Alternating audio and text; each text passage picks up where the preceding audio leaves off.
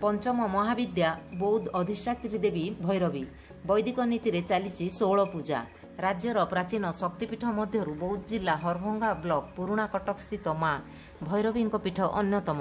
ଗତ ଶନିବାରଠାରୁ ମାଙ୍କଠାରେ ବୈଦିକ ରୀତି ଅନୁସାରେ ପୂଜା କାର୍ଯ୍ୟ ଆରମ୍ଭ ହୋଇଯାଇଛି। ଦେବୀଙ୍କ ମୁଖ୍ୟ ପୂଜା ମଧ୍ୟରେ ଶାରଦୀୟ ଦୁର୍ଗାୋତ୍ସବ ଅନ୍ୟତମ। ଆଶ୍ୱିନ ମାସ କୃଷ୍ଣପକ୍ଷ ମୂଳାଷ୍ଟମୀଠାରୁ ଆରମ୍ଭ ହୋଇ ଆଶ୍ୱିନ ମାସ ଶୁକ୍ଳ ମହାଷ୍ଟମୀ ପର୍ଯ୍ୟନ୍ତ ପାଳିତ ହୋଇଥାଏ। ବିଜୁ ଶିଶୁ ସୁରକ୍ଷା ଯୋଜନାରେ ସହାୟତା ପ୍ରଦାନ। ବୌଦ୍ଧ ଜିଲ୍ଲା ବିଜୁ ଶିଶୁ ସୁରକ୍ଷା ଯୋଜନାରେ ମେଧାବୀଙ୍କୁ ସହାୟତା ପ୍ରଦାନ କରାଯାଇଛି।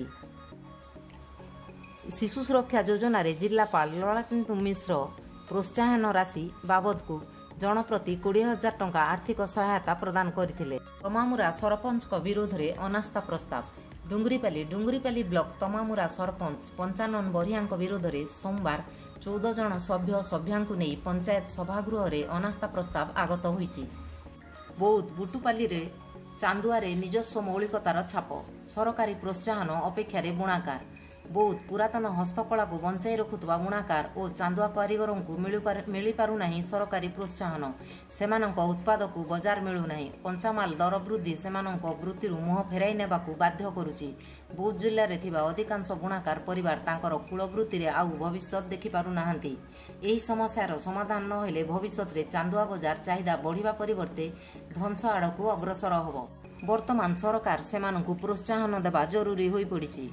ବ୍ରଜମୋହନ ବେହେରାଙ୍କ ଶ୍ରଦ୍ଧାଞ୍ଜଳି ସଭା ସାହାଜବାଲ ବୌଦ୍ଧ ବ୍ଲକ ତାଲସର୍ଡା ପଞ୍ଚାୟତ ସଂଗ୍ରାମପୁର ଗ୍ରାମର ସ୍ୱର୍ଗତ ବ୍ରଜମୋହନ ବେହେରାଙ୍କ ଏକ ଶ୍ରଦ୍ଧାଞ୍ଜଳି ସଭା ପଞ୍ଚାୟତ ଉଚ୍ଚ ବିଦ୍ୟାଳୟରେ ଅନୁଷ୍ଠିତ ହୋଇଯାଇଛି। ବୀର ମହାରାଜପୁରରେ ରକ୍ତଦାନ ଶିବିର ଉଲୁଣ୍ଡା ବୀର ମହାରାଜପୁର ଯୁବ ମହାସଂଘର ପ୍ରଥମ ପ୍ରତିଷ୍ଠା ଦିବସ ଉପଲକ୍ଷେ ରକ୍ତଦାନ ଶିବିର ଅନୁଷ୍ଠିତ ହୋଇଯାଇଛି। ସୁବଳୟା ଡାକ୍ତରଖାନାରେ ଅଧିକାରୀ ଡକ୍ଟର ଆନନ୍ଦ ସାହୁ ଶିବିରକୁ ଉଦ୍ଘାଟନ କରିଥିଲେ ଓ ଶିବିରରେ ମୋଟ ଏକତିରିଶ ଜଣ ରକ୍ତଦାନ କରିଥିଲେ। ଛଅ ଶାଳଗଣ୍ଡି ଜବତ ଛଅ ଗିରଫ ମନମୁଣ୍ଡା। ସୋମବାର ସାଢ଼େ ଦୁଇଟା ସମୟରେ Manmunda forest range Sagada section canal ରାସ୍ତାରେ ଛଅ ଜଣ କାଠଚୋର ଆଠ ଗଣ୍ଡି ଶାଳଗଣ୍ଡି ଚାଳାନ କରୁଥିଲେ। ଖବର ପାଇ ସଗଡ଼ା ଫରେଷ୍ଟର ଦେବବ୍ରତ ବେହେରା ଚଢ଼ଉ କରି ମାଫିଆଙ୍କଠାରୁ କାଠଗଣ୍ଡି ଜବତ କରିଥିଲେ। ପ୍ଲାଜମା ଦାନ କଲେ ମନୋଜ। ବିନକା ସୋମବାର ସୁବର୍ଣ୍ଣପୁର ଜିଲ୍ଲା ବିନକା ବ୍ଲକ କାର୍ଯ୍ୟାଳୟ କର୍ମଚାରୀ ମନୋଜ ବିଭାର ଭୀମସାର ବୁର୍ଲାକୁ ଯାଇ ପ୍ଲାଜମା ଦାନ କରିଛନ୍ତି। ଟିପର ମାଲିକ ସଂଘର ନୂତନ କର୍ମକର୍ତ୍ତା। ବୌଦ୍ଧ ବୌଦ୍ଧ ଜିଲ୍ଲା ଟିପର ମାଲିକ ସଂଘର ନୂତନ କର୍ମକର୍ତ୍ତା ନିର୍ବାଚନ ଅନୁଷ୍ଠିତ ହୋଇଯାଇଛି। ଏହି ସର୍ବସମ୍ମତିକ୍ରମେ ରାମେଶ୍ୱର ଅଗ୍ରୱାଲଙ୍କୁ ସଂଘର ସଭାପତି ଭାବରେ ମନୋନୀତ କରାଯାଇଛି ଇନଫାଇନିଟି ଏକାଡେମୀର ସଫେଇ କାର୍ଯ୍ୟକ୍ରମ ସୋନପୁର ଇନଫାଇନିଟି ଆଥଲେଟିକ୍ ଏକାଡେମୀ ପକ୍ଷରୁ ସୋନପୁର ସହରର ଛିନଛାନ ଡୁଙ୍ଗୁରିସ୍ଥିତ ଯୋଗେଶ୍ୱର ମନ୍ଦିର ପରିସରରେ ଏକ ସଫେଇ କାର୍ଯ୍ୟକ୍ରମ ଅନୁଷ୍ଠିତ ହୋଇଯାଇଛି। ପାନୀୟ ଜଳ ପ୍ରକଳ୍ପ ଅଚଳ। ଜହ୍ନାପଙ୍କ ବୌଦ୍ଧ ବ୍ଲକ ତୈଲବନ ଛକ ଏକ ବ୍ୟବସାୟିକ ଓ ଜନଗହଳି ଛକ ଅଟେ। ଏଠାରେ ଦୁଇହଜାର ଷୋହଳ ସତର ଆର୍ଥିକ ବର୍ଷର ଚତୁର୍ଦ୍ଦଶ କେନ୍ଦ୍ରୀୟ ଅର୍ଥ କମିଶନ ବିଭାଗର ଦୁଇ ଲକ୍ଷ ଚାଳିଶ ହଜାର ଟଙ୍କା ଅନୁଦାନରେ ବିଶୁଦ୍ଧ ଥଣ୍ଡା ପାନୀୟ ଜଳ ପ୍ରକଳ୍ପ ନିର୍ମାଣ କରାଯାଇଛି।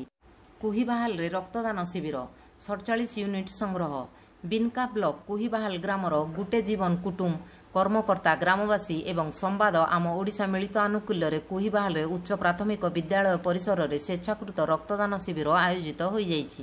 ପରିତ୍ୟକ୍ତ ଅବସ୍ଥାରେ ପଡ଼ିଛି ସରକାରୀ କୋଠା। ତର୍ଭା ସରକାର ଲକ୍ଷ ଲକ୍ଷ ଟଙ୍କା ଖର୍ଚ୍ଚ କରି ବିଭିନ୍ନ ଉନ୍ନୟନମୂଳକ କାର୍ଯ୍ୟ ପାଇଁ କୋଠା ତିଆରି କରୁଛନ୍ତି। ହେଲେ ଏହି କୋଠାକୁ ବ୍ୟବହାର କରାନଯାଇ ପରିତ୍ୟକ୍ତ ଅବସ୍ଥାରେ ପକାଇ ଦିଆଯାଉଛି। ଏଭଳି ଦୁଇଟି ଘଟଣା ସାମ୍ନାକୁ ଆସିବା ପରେ ଅଞ୍ଚଳରେ ଅସନ୍ତୋଷ ପ୍ରକାଶ ପାଇଛି। ଦୁଇ ବର୍ଷର ଶିଶୁ ସହ ଦଶ ଜଣ ସଂକ୍ରମିତ। ଡୁଙ୍ଗୁରିପାଲି ବ୍ଲକରେ ସୋମବାର ଶହେ ଛଷଠି ଜଣଙ୍କ ଆଣ୍ଟିଜେନ୍ ପରୀକ୍ଷା ହୋଇଥିଲା। ଦଶ ଜଣଙ୍କଠାରେ କରୋନା ସଂକ୍ରମିତ ହୋଇଥିବା ଜଣାଯାଇଛି। ସେଥିରୁ ଆଠ ଜଣ ଡୁଙ୍ଗୁରିପାଲି ବ୍ଲକର ଏବଂ ଦୁଇ ଜଣ ବିନକା ଅଞ୍ଚଳର ବୋଲି ମେଡିକାଲ ସୂତ୍ରରୁ ଜଣାଯାଇଛି। ଉନ୍ନୟନ କାର୍ଯ୍ୟରେ ଦୁର୍ନୀତି ହେଉଥିବାର ବିଜେପିର ଅଭିଯୋଗ। ଉଲୁଣ୍ଡା ଉଲୁଣ୍ଡା ବ୍ଲକର ବିଭିନ୍ନ ଉନ୍ନୟନ କାର୍ଯ୍ୟରେ ଦୁର୍ନୀତି ହେଉଥିବା ବିଜେପି ଦଳ ପକ୍ଷରୁ ଅଭିଯୋଗ ହେଉଛି। ଏନେଇ ଆଠ ଦଫା ଦାବିପତ୍ର ଜିଲ୍ଲାପାଳଙ୍କ ଉଦ୍ଦେଶ୍ୟରେ ଏବିଡିଓ ସୁଧାଂଶୁ ଶେଖର ମଲ୍ଲିକଙ୍କୁ ପ୍ରଦାନ କରାଯାଇଛି। ଯୁବ ବ୍ୟବସାୟୀ ନିଖୋଜ ଘଟଣା। ସପ୍ତାହେ ବିତିଲା ଟେର୍ ପାଉନାହିଁ ପୋଲିସ।